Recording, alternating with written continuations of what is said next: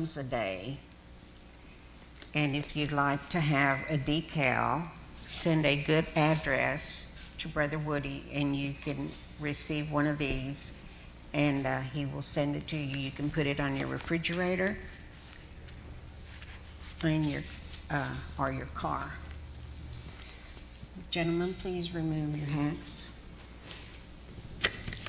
Dear Heavenly Father, please, please pray for everyone here, our church, all the churches around us, our children,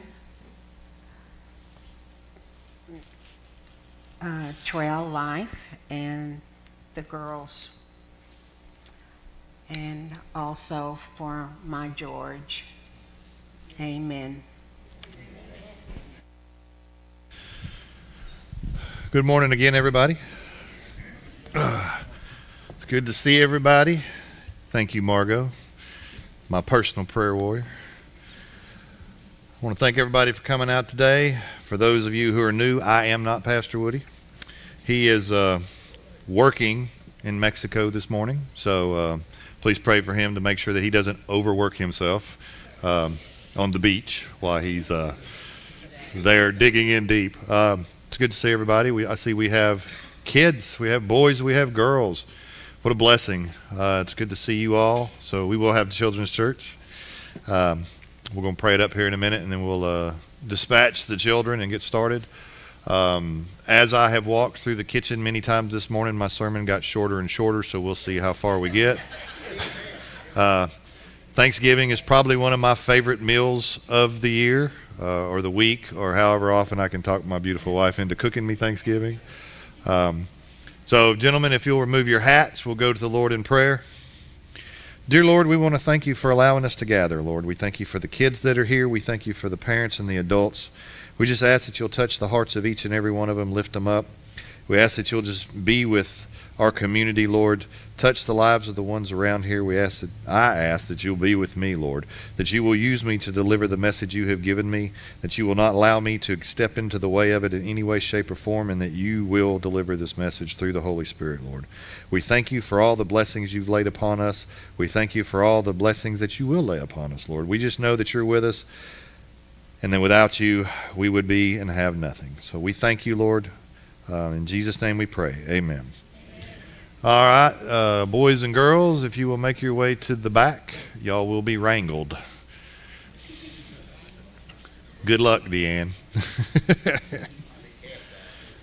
oh, glasses. I need glasses. It is a blessing to see children. I was, uh, I've not always been a, a kid person uh, per se, but in, in dealing with, not dealing, in serving with Trail Life, it has been a blessing to me. Um, I realized as a child I wasn't as messed up as I thought I was. Apparently, I was just a little boy. Um, you know, we live in a world now to where if they're not sitting down and being quiet, they say something's wrong with them, and that's not true. Children are not meant to sit down and be quiet. They're meant to run. They're meant to get muddy. They're meant to. They're meant to do what kids do, and uh, we've been blessed in uh, the last few months watching these boys start coming together as a, a, a family. And uh, we're looking forward to the girls doing the same thing. We're really excited. Uh, when I started, uh, when I brought Trail Life to Pastor Woody, I wasn't sure, uh, with us only having really one boy here every week, what we were going to get. Uh, but I'm proud to say we've got 20 boys signed up. Um, and it is the community organization that we hoped it would be. Um, and anybody who wants to volunteer, see me after church. and that's for the boys or the girls. We need, we need adults uh, who want to uh, mentor these children. Um, there's a lot of people out there in this world who are just dying to mentor our children. And these aren't people we want to mentor them. The people on TV, the people um, who don't believe what we believe. So it's important that uh, if you believe in God and you want to see our, our country get strong again and our world get strong again, that we uh, we need to step up and start uh, teaching these uh, children about uh, about God and uh, His grace and His mercy. Okay, so today, I would guess most of us here are Christians. I would guess most everybody online considers themselves Christians. Christians generally believe in God, know Jesus, and consider themselves good people. The problem in modern times is a lot of people who consider themselves Christians aren't really Christians. They're people who have good intentions. They're people who were taught they were Christians, but in reality, they don't have all of the properties isn't the word. They don't have all of the uh, all the things that they need uh, to be Christian. Um, the Bible is very specific about what it takes to get into heaven. We have all heard about the narrow gate, the narrow way, and the narrow door. And Jesus, no matter how he stated it, narrow was a common theme. Uh, getting into heaven takes more than just coming to church a couple of times a year. And this is a harsh reality to some. Uh, many feel that when people start talking about what the Bible really says about salvation, uh, the word extremist is often used. Uh, and the further we go along in time, the more the people who actually believe in God and believe what His Word says, they're considered more and more extremist, and in some some people's minds, dangerous. Um, did you know the word Christian is only used in the te- New Testament three times? Actually, it's only used in the whole Bible three times. Uh, in Acts 11:26, and he went, and when he found him, he brought him to Antioch, so that so it was that for a whole year they assembled with the church and taught a great many people, and the disciples were first called Christians in Antioch. Now I've got a lot of uh, find a tissue. I'm sorry. I've got a lot of scriptures. Um, a lot of them we will not go to, but I've, they're going to put them up on the screen so y'all can reference them later on. Uh, Acts 26, verse 28. When Agrippa said to Paul, You almost persuaded me to become a Christian. And then the third time is in 1 Peter, uh, it's in chapter 4, verse 16. Yet if anyone suffers as a Christian, let him not be ashamed, but let him glorify God in this manner the word Christian did not exist before Jesus ascended into heaven. In the earliest days of the church, the term Christian was not a term of endearment. Uh, it was given to followers of Christ as an insult. Christian, which means Christ-like, was given to the followers of Jesus by non-believers because they felt like they were acting like little little messiahs. Uh, I think today we would call them sanctimonious, but again, when, when you believe what the Bible says and you try to act like what the Bible says, a lot of people uh, get offended, even in churches. Uh, Jesus did not tell his followers to go out and make Christians. He did not ask them to go out and make converts. He told his guys to go out into the world. He told them to go out and make disciples. In Matthew 19, I mean, in Matthew 28 19, it says, Go therefore and make disciples of all nations, baptizing them in the name of the Father and of the Son and of the Holy Spirit. Now, the word disciple is used over 250 times in the New Testaments, and all of which are in the four Gospels and in Acts, in the book of Acts. In the early church, you were a disciple before you were considered a Christian. So, what is a disciple? Anyone who has been in church, watched preachers on TV, listened to Christian radio or podcasts have probably heard the term. Merriam Webster defines the disciple as one who accepts and assists in spreading the doctrine of another, such as, and the example they give is Christianity. One of the twelve in the inner circle of Christ's followers, according to the Gospel's accounts. And the Oxford Language Dictionary says a personal follower of Jesus during his life, especially one of the 12 apostles. So it seems the world is calling an apostle and a disciple the same thing. And they are similar. And if we had time, we could go over it. But Pastor Woody has went over it many times. Um, so you can go back and watch that. Or when he gets back, he'll be happy to tell you. Uh, they are not the same. Because basically, in a nutshell, an apostle walked with Jesus they were with him when he was on earth. They touched him, they ate with him, and they learned from him. A disciple of Jesus follows his teaching, but was not with him, did not know him personally, and was not around when he was on earth. Uh, all disciples should interact with Jesus, but we interact on a spiritual basis through the Bible and prayer. Um, we are not physically going to see Jesus until he until we leave this earth and step into his presence or until he comes here and gets his church, um, which is getting closer every day. We don't know when that time is, but we do know every day gets us closer to that account. Um, but we can read God's Word, study God's Word, and we can pray. So basically, student is probably the best definition of what a disciple is. Disciples were to imitate, be imitators of their masters. So, to be recognized as a disciple of your master, you had to learn his teachings and then pass it on to others. And then after you developed the learning, then the former disciples would become teachers themselves with their own disciples. And not all writers in the New Testament used the word disciple. Paul was one of them. He used language such as imitation and followers. In 1 Thessalonians 1, he said, And you became followers of us and of the Lord, having received, having received the word in much affliction with the joy of the Holy Spirit. Okay, I'll slow down. I know I'm going fast. I, I tend to talk fast. I'm sorry. And then in 1 Thessalonians 2, verse 14, it says, For you, brethren, for you, brethren, became imitators of the church of God, which are in Judea and Jesus Christ. And these are just two examples. There's a lot more in Paul's writings.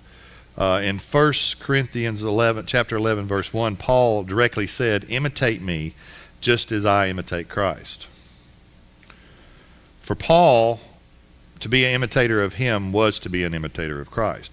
His goal in life was to be like Christ in every way he could. He was not looking for his imitators to be an exact copy of him, but rather to be like Jesus. Many may think that Paul calling his followers to uh, be like him was arrogant, but really it was not. Rather, it reflects the notion of imitating some sort of moral example, which was quite common back in that time. It was him urging the modeling of the modeling of Christ.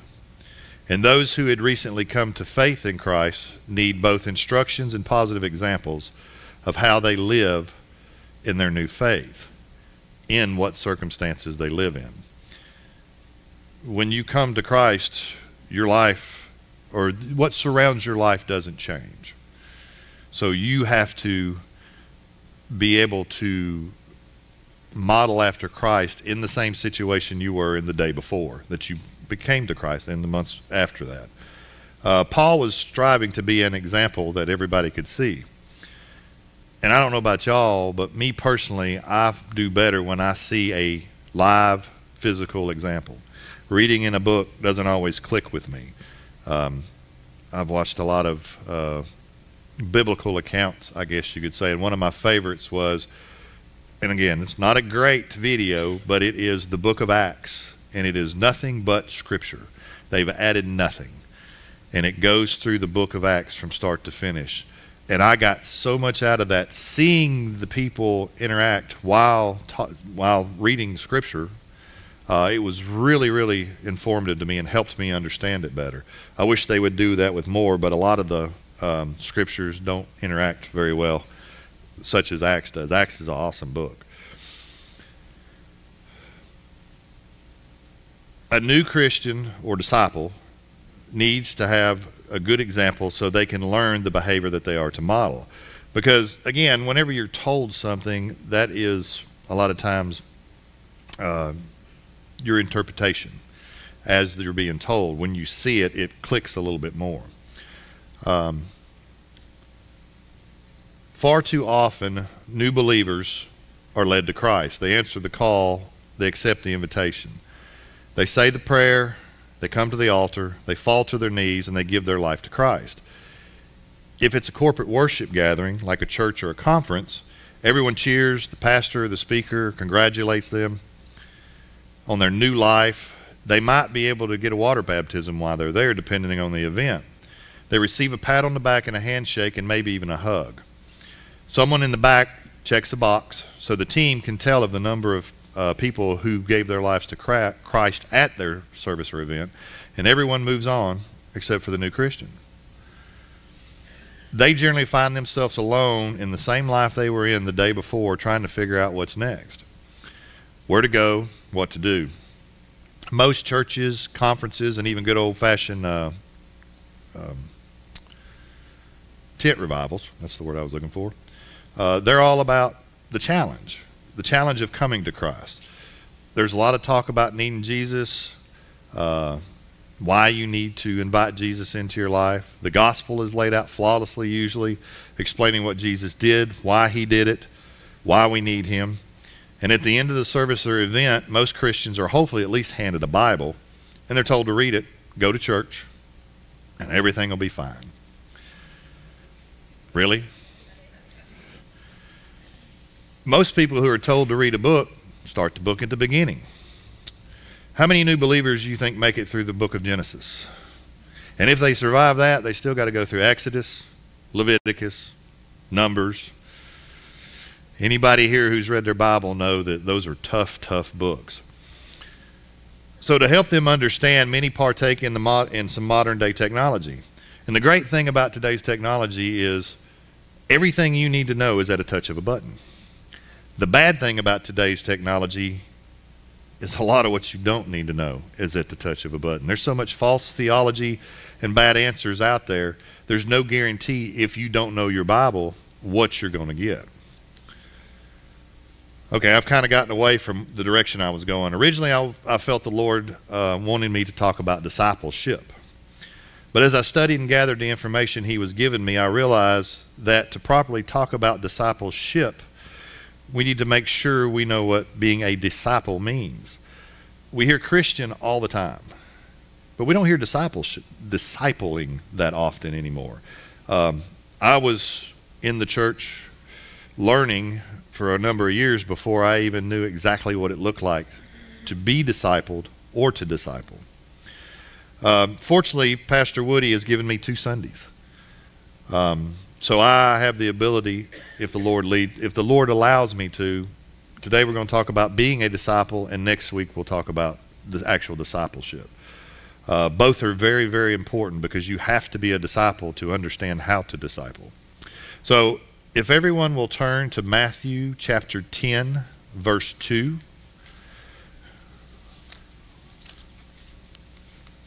This is basically the, the, the scripture that I've kind of worked off of, though you'll see I have a lot. Actually, you can see I have a lot. I want to make sure everybody knows how to turn the pages in their Bible. It's very important. Get your, get your workout this morning.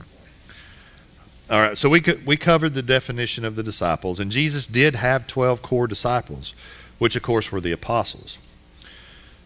So in Matthew 10, we're going to be in verse 2. Now, the names of the 12 apostles are these. First, Simon, who was called Peter, his brother, his aunt, uh, and his Andrew, his brother, James, the son of Zebedee, and John, his brother, Philip, Bartholomew, Thomas, and Matthew, the tax collector, James, the son of uh, Alphaeus, and this isn't uh, James, Jesus' half brother, this is someone else another James,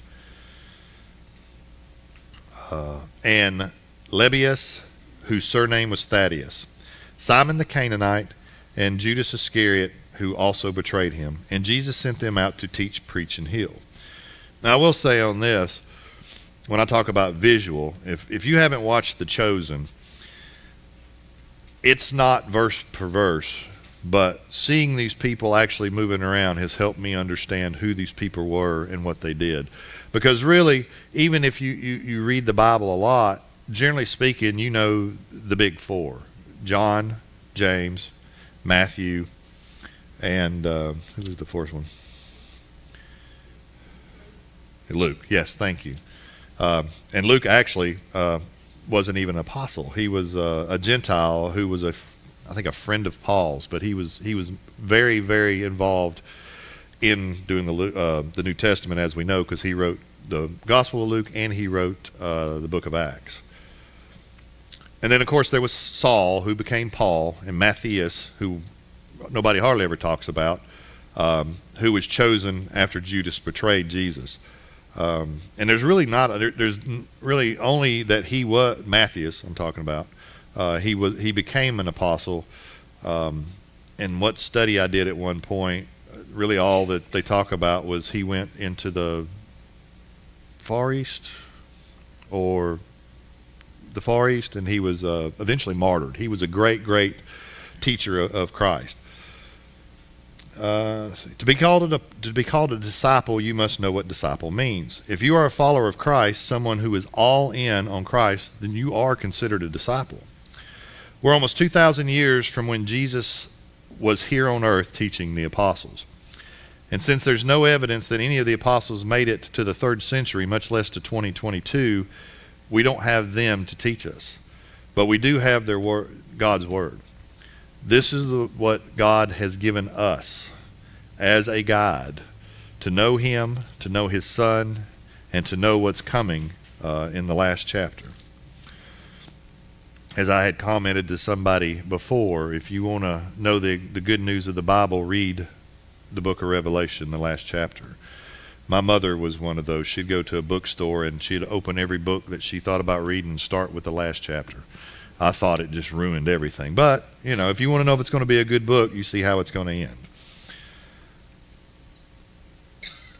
Once we've accepted Jesus as our Lord and Savior, the Holy Spirit comes and lives within us. He is our helper. He is God's representative of us. He also is there to teach us and lead us. The only problem is a lot of new believers, they don't know how, what to listen for. They don't know how to hear the Holy Spirit speak to us. There's so much noise in the world that sometimes we need help. And to follow the Holy Spirit, sometimes you need outside help. As the Ethiopian said to Philip when he asked, Do you understand what you are reading? And that's in Acts chapter 8, verse 30 and 31. The Ethiopian responded, How can I unless someone guides me? And that is important that we are guided to ensure that what we are receiving is from God. As I said earlier, when Paul, when I was talking about Paul and his followers imitating him, having a live action model, model is an example to help that helps tremendously. As we walk with our Lord, do you have someone you're discipling? Do you have someone discipling you? The late Steve Farrar, he's a great men's ministry man that I listen to. I have listened to for years. Um, his podcast and, and, a lot of his sermons are still online. And, and for men, especially, it is a great, great. He, he was a great, great leader in that area of men's ministry. Um, what he said was we should always be under the discipleship of someone more mature of us, but we should also be discipling someone less mature than us. We should be in a constant state of discipleship, both giving and receiving. A disciple is transformed by Christ, they become a new creation. And we must remember that when you give your life to Christ, the next morning you're not going to wake up a totally different person. God has the ability to change us that quickly. He can touch us and turn us into something that we're not. But that rarely happens. It's hard to appreciate what God has done for you if you don't have to work for it. It's like people and money. If you don't have to work for it, you don't usually appreciate it. And it's kind of the same way is you need to understand all that God has done for you. But if you're truly transformed, you begin to see and feel a difference in your wants, in your desires, in the way you talk, and in the way you interact with people. Now, many, once they become uh, followers of Christ, they do the bare minimum, just wanting to get by and, and sneak into heaven. Uh, they continue in the perpetual sin that they were doing before they found Christ, all the while wondering why nothing has changed. We must abide in Jesus for him to make the changes in us. John 8:31 says, "Then Jesus said to those Jews who believed him, if you abide in my word, you are my disciples indeed." And to abide in, in Christ is to allow his word to fill our minds, direct our wills, and transform our, our affections. We are no longer the person we were before Jesus. People will tell you how the things you used to do and, and how that you can never change. But if you truly have Jesus and you truly learn from his word and walk in his ways, you will change. He can change anybody. A disciple lives a God centered life. They strive to live like Jesus talk like Jesus, and act like Jesus. And this is important because I personally believe when you're in your walk, your testimony to other people is more effective in the way you live than the way you talk. Because people can tell you anything. And we have a whole town up in the Northeast that that's what they do. They tell us every day what we want to hear, but they don't they don't produce. So it's very important that you understand that how you live, it's not do as I say, not as I do, it's do as I do. Because that's where people truly discover if God is in you or not. And we are to focus on God and Jesus. We are to learn the scriptures so we will know their attributes. We're to learn the scriptures so we know the truths from the lies. This book is full of truth. And anything that goes against this book is a lie. We are also to look to those discipling us. We're to ask the Holy Spirit for discernment and, and wisdom to lead us through the teachings we are being taught, to ensure that they are of Him. A disciple wants to know Jesus' teaching. If you're a true disciple of Christ, you hunger for His Word. You want to be in His Word at all times. We should study God's Word so we know if a false teacher is trying to mislead us, and we must know Jesus' teaching so that we may teach the less mature upon us in the faith. We can't model or teach what we do not know. A true disciple is not center is not the center of his own life or their own life. Jesus is. Everything revolves around giving God glory. A true disciple does not point to themselves. They understand that without Jesus they can do nothing. They do not want those around them to see them. They want those around them to see Jesus and know that Jesus is the one who's leading them through it. A disciple is called to be holy. Pursue peace with all people and holiness, without which no one will see the Lord.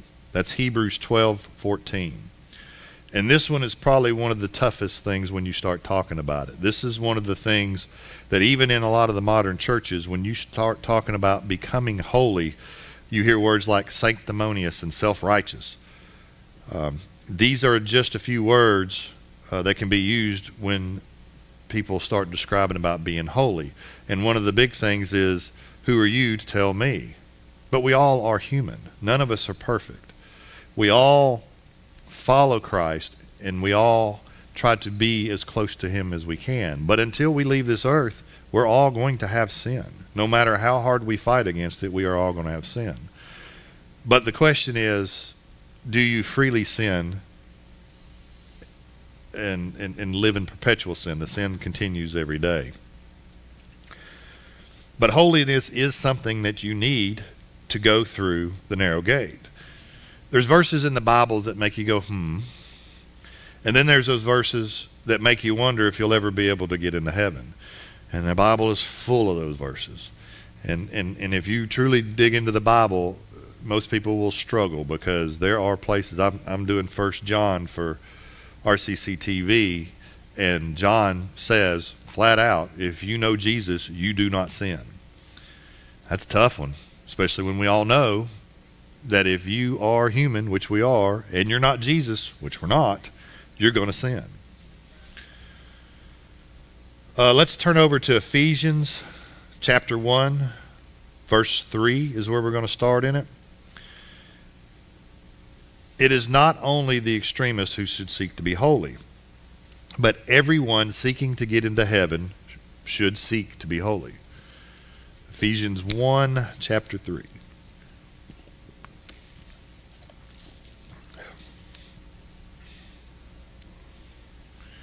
I should have marked my Bible. 1 verse 3.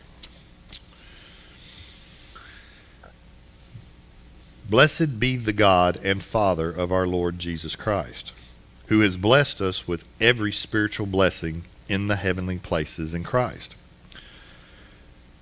Just as he chose us in him before the foundation of the world, that we should be holy and without blame before him in love. To come before a holy God, you must be holy. And how do you become holy? Let's go to Colossians chapter 1, verse 19.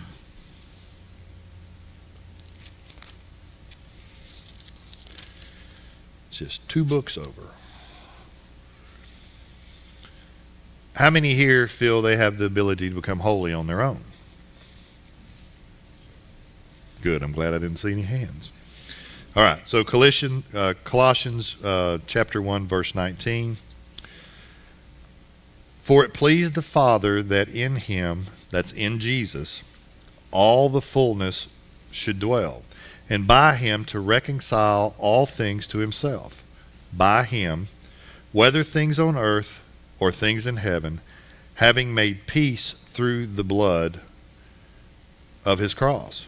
And you, who once were alienated and enemies in your mind by wicked works, yet now he has reconciled in the body of his flesh through death, to present you holy and blameless and above reproach in his sight.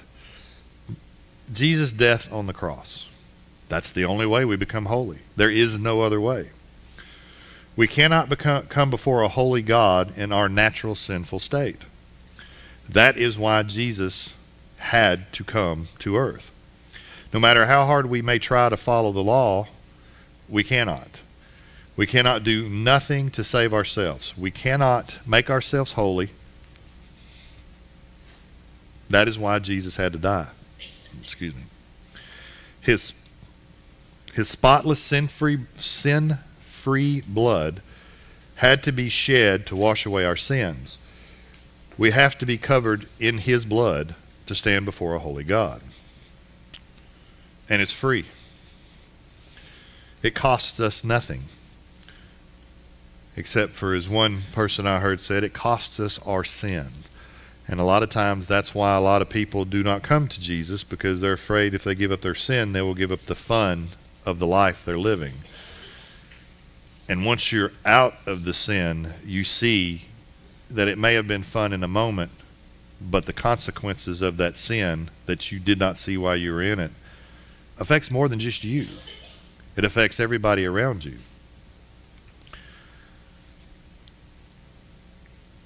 All we have to do is believe. Lay everything at the feet of Jesus and ask for forgiveness. Repent of the sins that we have been that have been controlling our lives and immerse ourselves in the love of Jesus. Of the, the love of God and the love of the Holy Spirit. If we can't get holiness right, we can't get anything right. Everything we do is based around our love for Jesus. We can't work our way into heaven, but your love for Jesus should cause you to want to work for Jesus, to spread the word, to talk to people, to do the things that we're called to do. A disciple does not go it alone or sit at home avoiding other believers. We are called to have our own uh, personal time with Jesus, alone time in our prayer closet, as a lot of people call it. We should have that one on one time with Jesus. But we're also called to participate in corporate worship, like we do here. Pastor Woody speaks of Hebrews uh, chapter 10, verse 24 and 25 all the time. And I know y'all all, all have heard it. Let us consider one another in order to stir up love and good works, not forsaking the assembly of ourselves together, as is the manner of some, but exhorting one another, and so much more as you see the day approaching. Now let's go to Colossians 3, chapter 3, verse 14. Should be over a maybe two pages, depending on your Bible. We are called to worship and fellowship with other believers. We are called to worship as the body of Christ. Colossians 3, chapter 3, verse 14. But above all these things, put on love, which is the bond of perfection. And let the peace of God rule in your hearts, to which also you were called in one body, and be thankful. Let the word of Christ dwell in you richly in all wisdom, teaching and admonishing, admonishing one another in psalms and hymn and spiritual songs, singing with grace in your hearts of the Lord. You do not have to go to a megachurch. You don't have to come to a congregation like this, but you must gather with others. The early church gathered in homes, but you should always gather with people outside of your immediate family. We are to invest in each other, teach each other. We're to hold each other accountable to each other. We must have godly people speaking into our lives. And with permission, we should also speak into other people's lives. But we should have permission. If you haven't given permission, don't be telling people all the bad things they're doing. That's that that's a good way to to to go wrong in that area. Um, and also, we have to remember that men need men. Someone told you about Jesus, and you might not have been a bad person. I didn't think I was. I was better than that other guy. So you know, you know, as long as there's somebody over here who's worse. But somebody told you about Jesus. Um, someone prayed that your soul be so, that your soul would be saved.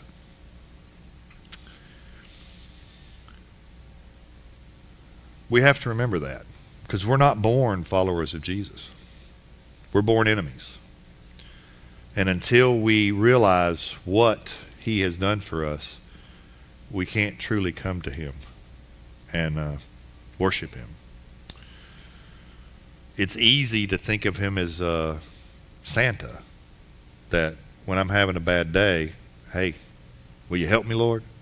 But when you're having a good day, you don't think about him. And we should think about him at all times because we will have peaks and valleys. That's just part of part of it. Um, but if we don't appreciate him up here, it's hard to appreciate him down here.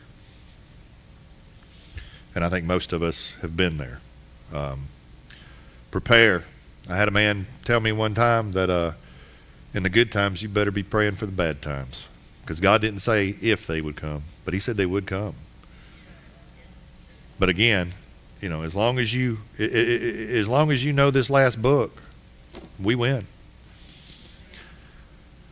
And our goal is to take as many as as the old bad part of it was is you know I'm going to take as many people out as I can. Well, our goal is to take as many people out to Christ with us.